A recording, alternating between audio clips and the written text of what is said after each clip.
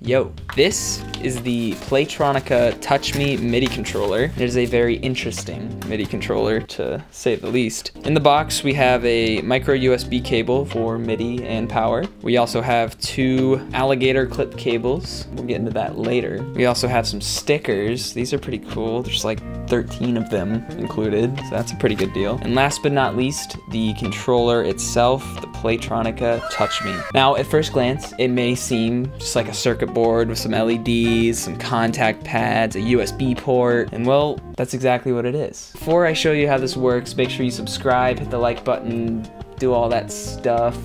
Thanks. Now I'm just gonna go ahead and plug in the Touch Me controller.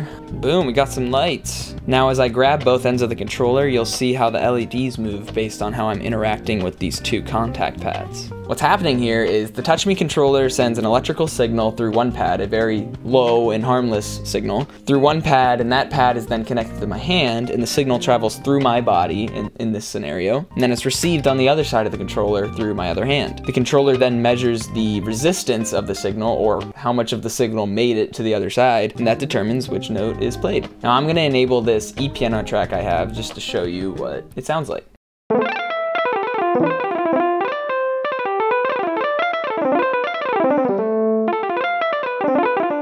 Now all I did was rub the controller in different ways, but the different ways that I was touching these contact pads created different electrical signals for it to interpret. Now the notes being played were in the C major scale, and I know that because this top row of LEDs, the green ones, determine what your root note is. So we have it on C at the moment, and the bottom row of red LEDs determines the scale.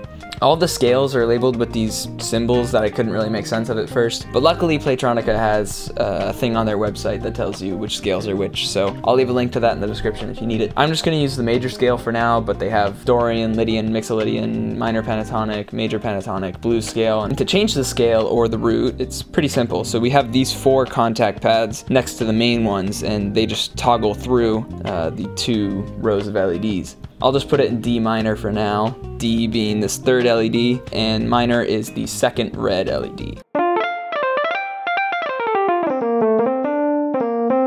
Now you may have noticed that this isn't sounding too musical, and that's because we're missing one critical music element. And that would be, yes, you guessed it, rhythm.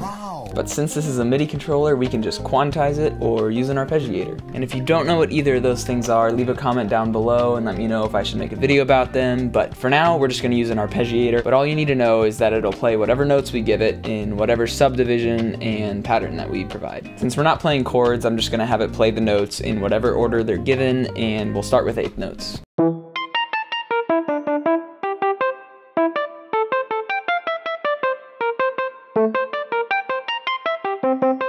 Here's what it sounds like with 16th notes.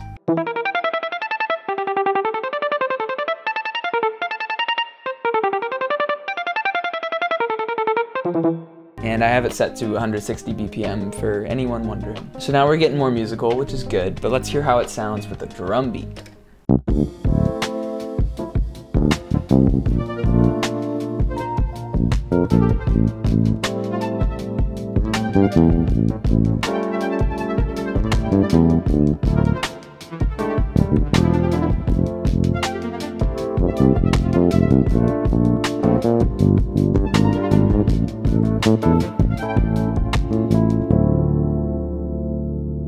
So it's starting to get pretty cool, but how can we utilize its unique interface a little bit more? That is where these guys come in. Remember how I said it sends electrical signals through your body? Well, that's because your body is conductive. So that means anything that's conductive will work with this. Things such as metal, water, plants.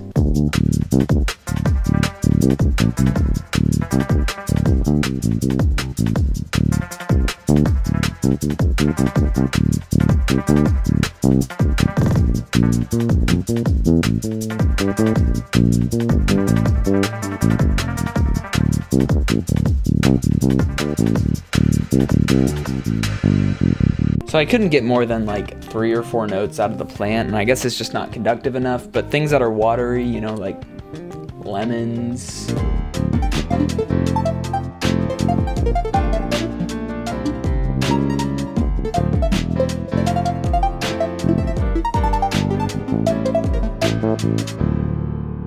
All you need to do to do this is to connect an alligator clip to one of the pads or both, and then you can just connect the other end to whatever it is you're connecting to. I'll just do that. So you may have noticed it came with two alligator clip cables, so that means, don't spill. Oh my God, oh my God.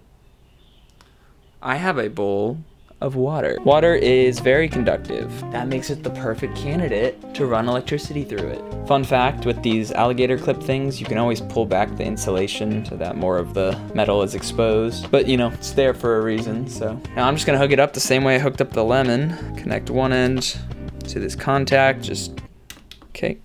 Drop this into there. Let's see how it sounds.